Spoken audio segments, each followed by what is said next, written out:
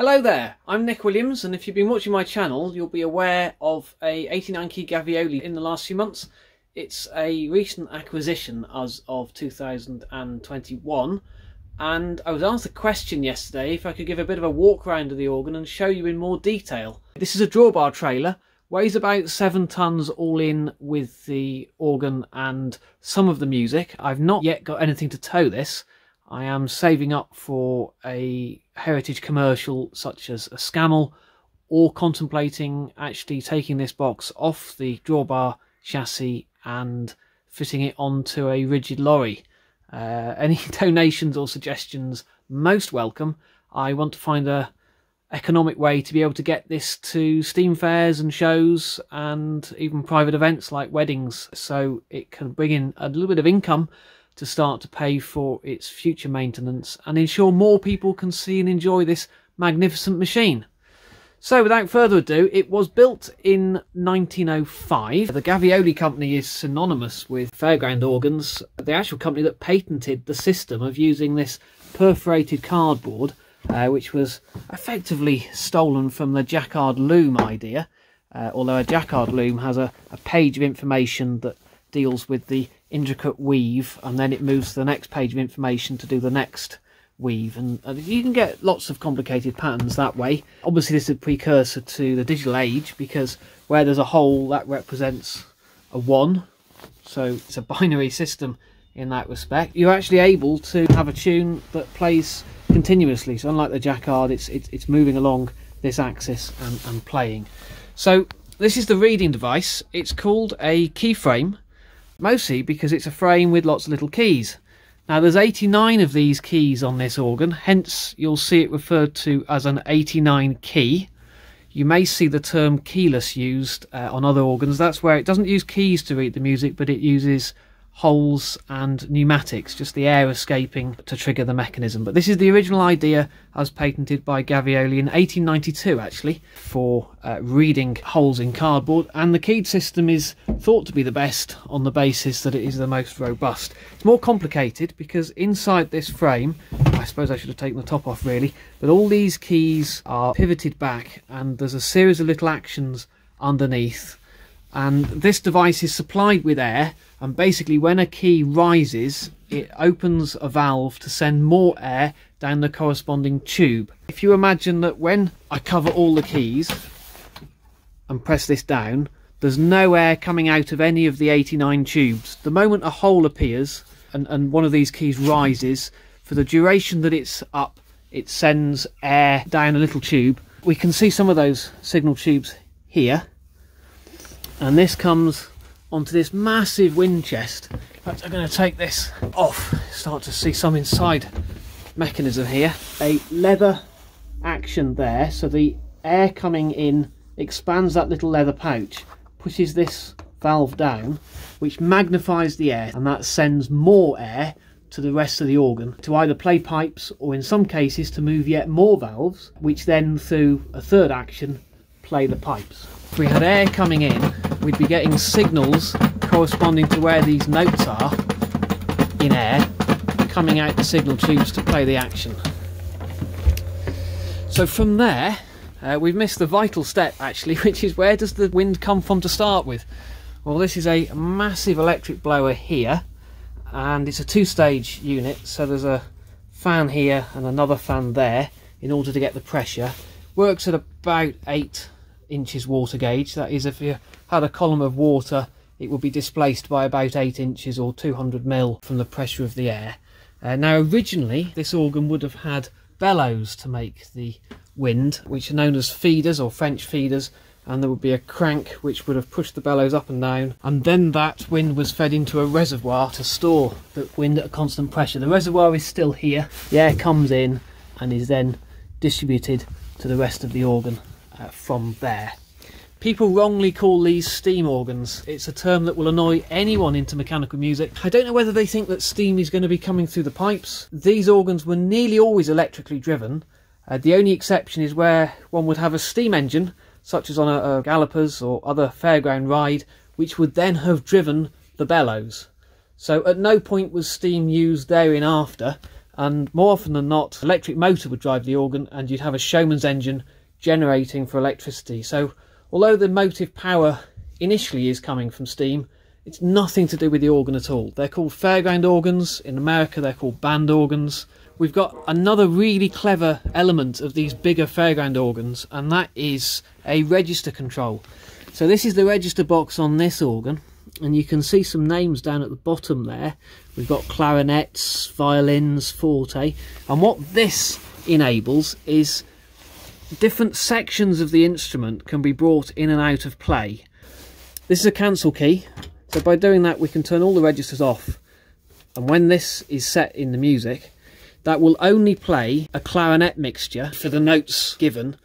The moment you then start adding these in, or the organ starts adding these in, and that might be the forte. As I play the organ, you'll see it's, it's quite magic. People get confused the fact that that organ actually has 400 pipes. They say, but there aren't 400 notes. So it's all about having different sections. This is the 89 key scale. It's a common scale. It's actually derived from the 87 key scale, which then became the 89 key. There was a number one, two, three, and 4. Marenghi then started the violin baritone scale, which is known as VB, which is probably the most common scale in England. Marenghi is the rival to Gavioli. He did actually work for Gavioli and left in 1902 to set up his own organ building company, also in Paris. So it's quite unusual this organ in the UK to still be playing on the correct original number 4 scale. A feature of this, as you'll see, is the melody section, which has got this massive compass of notes here, is subdivided into clarinets for the lower part, piccolos for the higher part, but we've got a violin which covers an extra five piccolo notes. So when the violins come in, it's got a larger compass, and that's quite critical in arranging because it means you can do some very clever things. We've also got a counter melody section here, and this organ is also unusual in having a rank called Cor Anglais, English horn, original Gavioli pipes. They're just very rare to still be used, really. Uh, there's not many instruments with those on. We've also got percussion, which is put in automatically here. Got a snare drum here and here. And B is the bandmaster. It's quite unusual. There's a whole note in this music scale just for the button on the bandmaster, just so he can wave his stick around in time with the music. Most organs use the bass drum signal, but of course that doesn't work when quiet parts of the music are on and, the bass drum isn't playing. Another interesting feature, just sidestepping, this became a bit of a standard amongst organ builders. This is a Limonaire book from 1906 and the Limonaires were actually 86 key. They didn't have registration, but they had an extra note just for the bell ringer figures. Uh, it's been filled in now on this one. Like a lot of the old music with this organ is still ready to go and still in use and still works. Uh, people often ask, of course, can you get new music? Yes, I've got pieces up here from Adele and some of the other latest hits. I've also got lots of classical pieces which would certainly predate the build date of the organ, but perhaps have been done in recent times. And uh, the 1920s were a particular golden era for music. A lot of 20s hits. You imagine we've just had the First World War and uh, the 20s come along and everybody wants to be put in a good mood. There were some really lovely musical compositions and they lend themselves to these type of mechanical music instruments. Anyway, could do a bit of a walk round of the organ. We've got some bass helpers here. These are saxophone pipes. Uh, we've got two ranks of trombones on this organ. We've got wooden trombones and brass trombones. The brass come in with the forte register, just to add strength to that. The melody violins, there's three ranks on the front and there's also this chest here with another two ranks at the back to strengthen it. They're two different scales. In terms of the way the pipes make the noise, it's just about having a variety in overtones that give colour and timbre to each note. This is the forte chest, so when the forte is in play, this for the main lower melody rank also brings a string helper with these wooden trumpets, which is also nice. You can just start to see the extent of the pipework here. We've got accompaniment pipes. Imagine an umpa, they're playing the pa.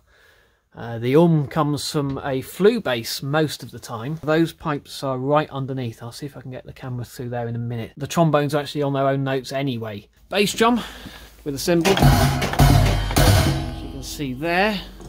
This is just basically a larger pneumatic motor that isn't unlike the action that's got the wind to that stage. It's just amplified it up and up and up through the relays to the stage where we've got air in there and the little signal pipe comes in and cuts the air supply off and the spring allows the beater to hit the drum and magic happens. I'm going to show you the front. I'll have to open up. So I've got a little hydraulic power pack here. There we go. So let's have a look. Fairly obvious feature, uh, certainly to anyone watching from the front, is the glockenspiel, which will play effectively with that hammer over travelling. So if I move it slowly, won't hit the note, but if I twang it like that, that it claps under its own weight and, and over travel, it hits the bar. These bars are just loose on there, that helps them reverberate.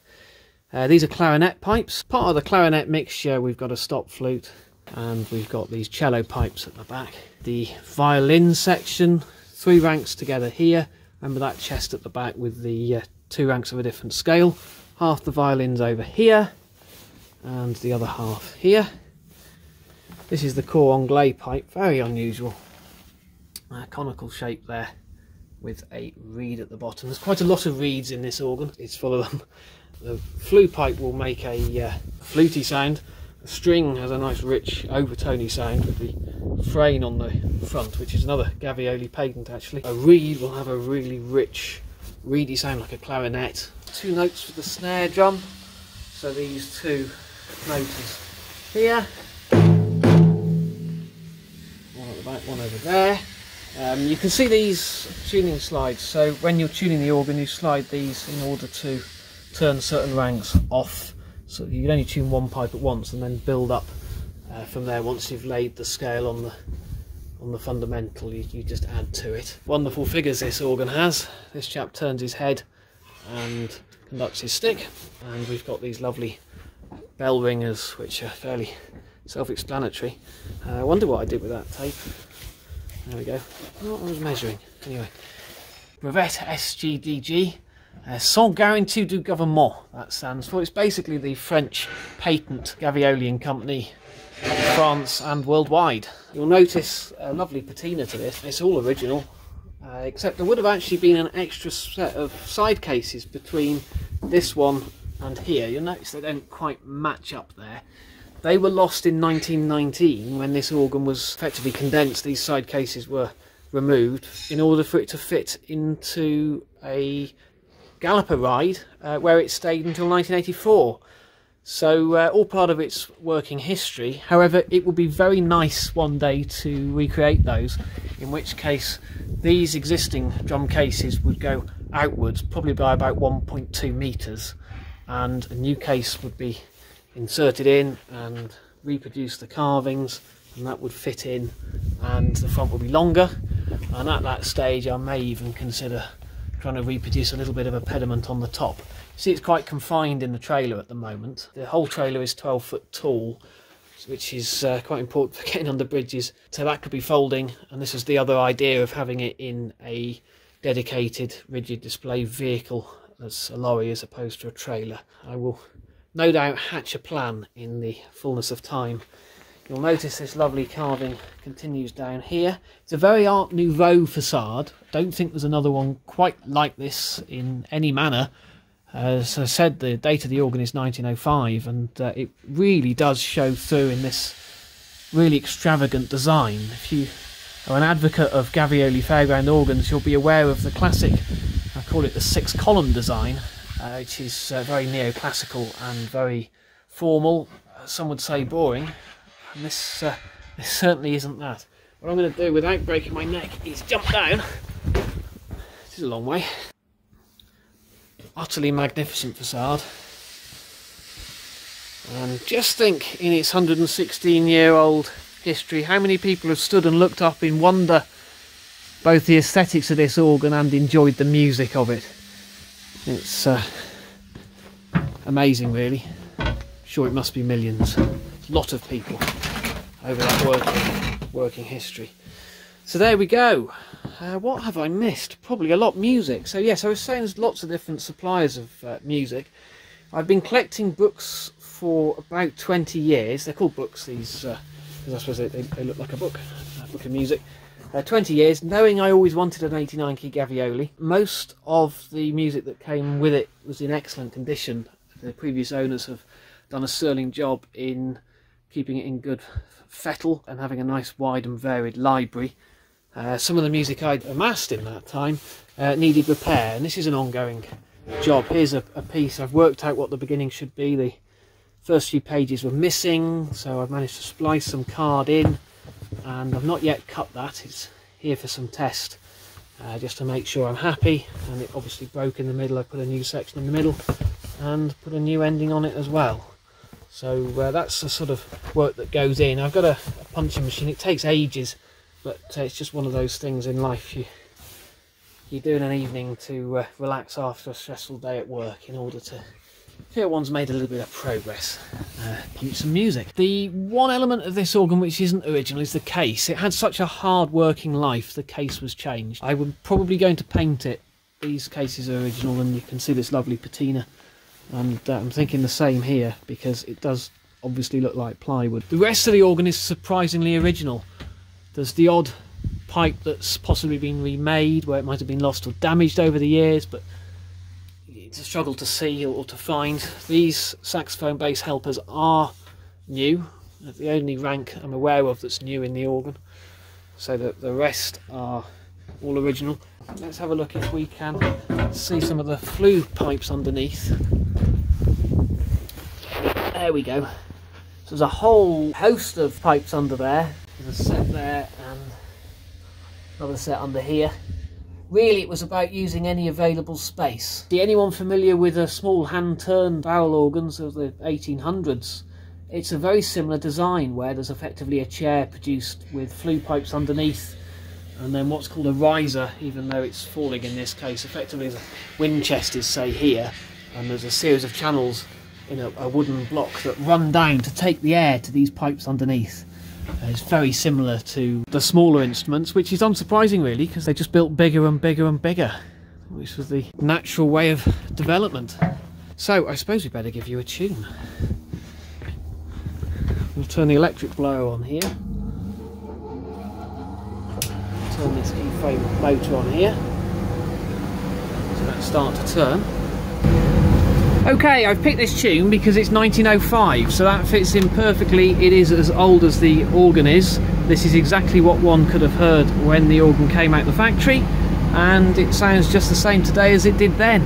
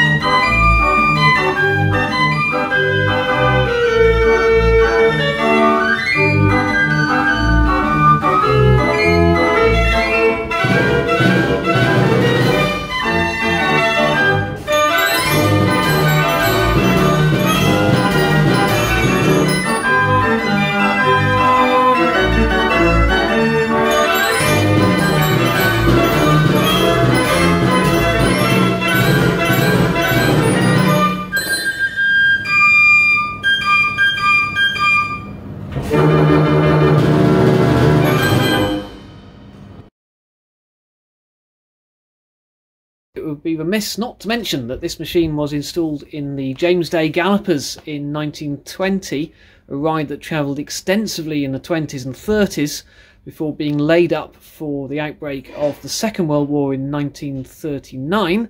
However, by 1941 it was back out and playing, despite there being a war on. Uh, I'm quite sure it would be playing all the hits of the day and bringing much light relief during those war years. Uh, after the war, it became a static uh, ride, uh, effectively it's still working, but the, the ride was no longer travelling, based in Aberavon in South Wales, and it was there until 1984.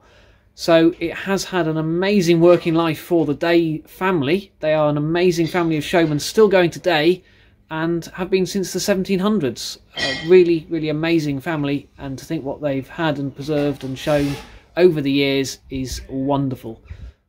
And we release this hydraulic lever here, lets all the oil out the rams, closes the door, and puts the organ to bed. So I hope you've enjoyed this performance and behind the scenes look as to how the organ works and what's making that lovely music. So there we go. If you've enjoyed the video and haven't already, please subscribe to my account. I'm going to continue to upload all the wonderful videos I can make of these magnificent machines. And if you've really, really enjoyed the video and want to encourage me further, I'll leave a link below. You can tip me through PayPal all the funds I get from these videos and from taking my organs out to perform at events, I throw straight back into the maintenance and funding of new music. These are historic artifacts to be enjoyed by everybody and it's a pleasure to share it with you today and it's a pleasure to continue doing that for the future.